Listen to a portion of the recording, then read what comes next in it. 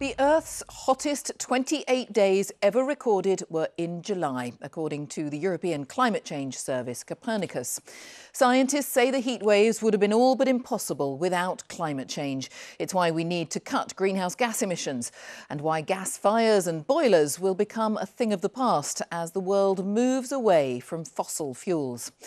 Instead, the heating systems in our homes will be electrified, and one of the main alternatives is a heat pump, which absorbs heat from the air, ground, or water around a building. They're very energy efficient, but take up of them has been slow. Fewer than 60,000 new heat pumps were installed in the UK last year, and that is way off the government's target of 600,000 a year by 2028.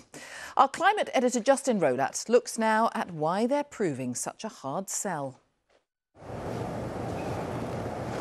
It is absolutely freezing, minus 12 degrees centigrade.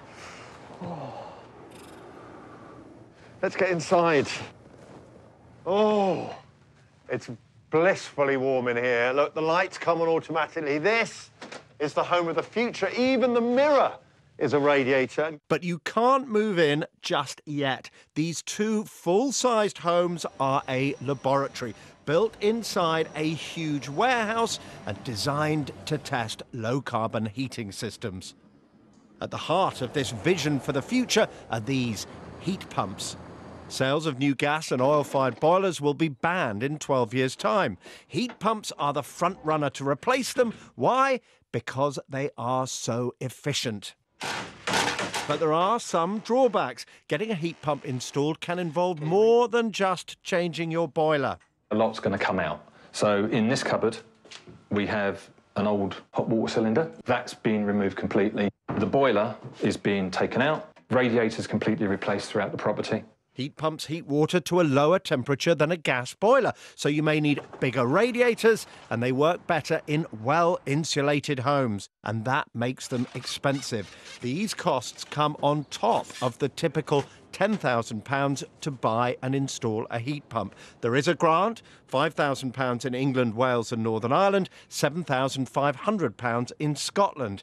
And there is another issue. Electricity is much more expensive than gas, so even though heat pumps are more efficient, they cost about the same to run as a gas boiler, which may explain the slow take up. But the government says that should increase.